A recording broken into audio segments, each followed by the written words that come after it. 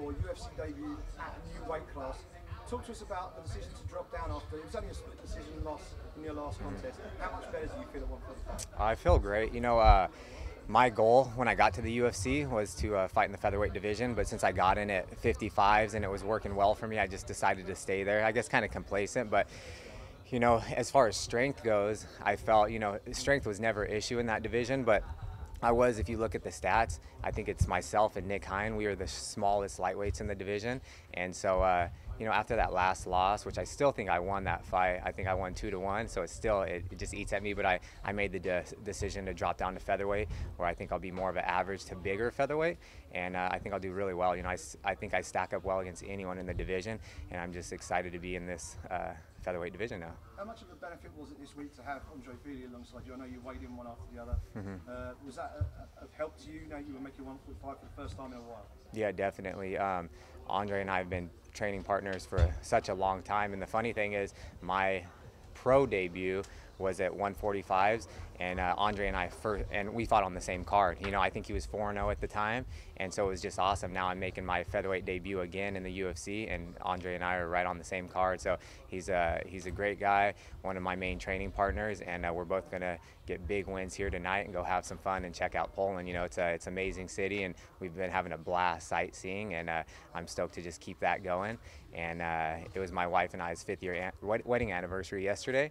Um, and so now it's going to be a fun, fun weekend. We're going to stay here for a few days and then go to Copenhagen, and uh, I got to take her out to a nice dinner. So I was hoping to get that bonus if they stopped the fight in the first round, but uh, it could still happen.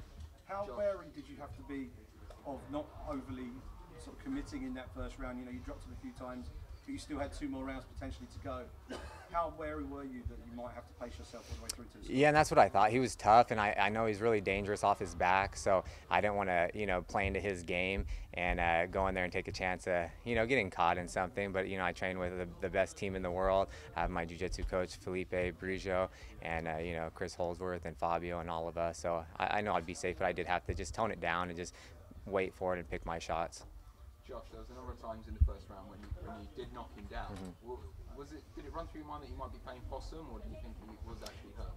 No, I, I knew he was hurt. I could see his, his eyes roll back in his head, and he just kind of looked confused. Um, but man, he, he's just tough as hell, and I he, he's so experienced. You know, I think that was his 30th or 31st pro fight, his like 11th fight in the UFC, and uh, he's he's had a lot of wars. He's never been finished with a KO or TKO, so I was really looking to give him his first uh, loss that way. But you know, it didn't it didn't go my way, but it'll come. Josh, Josh, you mentioned that you want to fight in it UFC Fresno. Yes. Is there any like opponent that you, you're? Not really. I, I, I think I stack up well against anyone, so I'm up for anything. Uh, Shelby and, and when it was Joe Silva at the time, they they asked me so many times about fighting anyone. I've never said no to a fight, you know, but a lot of people have said no to me. And even this fight, I'm not going to mention any names, so you guys don't ask me. But this was the fifth opponent. They gave me some people in the top 15. No one wanted it, so uh, I'm up for anybody. I've never said no to a fight, and I'm not going to start anytime soon. Bit of a happy hunting ground for you, Europe. Now you've had you had your UFC debut mm-hmm. over in Europe. You've now come back and you've won again. Is this somewhere that you'd like to come back and maybe extend this European tour and have a few more fights? Oh, I, I, of course. You know, Rotterdam. That was the first time I've ever been out of the country, and it was uh, it was eye opening to me. You know, it was it's such a beautiful um, city over there, and I saw so much stuff. Just experience the culture, the people, the architecture, and uh, we just make a, a, trip out of it. So that's why my wife and I we both got the world tour tattoos, and we're gonna keep that going. I almost like fighting overseas more than the states. I've been everywhere. I've been to Vegas. I know that'll come eventually. Uh, all my friends and family want me to fight in Vegas. Just gives them an excuse to go there and have some fun. But uh, I, I, love going to other countries. I would fight on that Australia card if they gave me someone in four weeks. Is there anyone in the division? Anybody. Yeah, anybody. Like I, like I said, I will not say no to a fight. I think I stack up well. I'm, I'm 32 years old. I'll be 33 in March. I got into this game later than most. I train with the best team in the world. I know where I stack up. So I want to test myself. I don't want to slowly climb the ranks. Just throw me to the wolves like they have, and I'll come back leading the pack. And one more thing, I, I want to say, I wanted to dedicate this fight. You guys still on? I wanted to dedicate this fight to uh, Noah Bentley. It's one of my good friends' uh, son.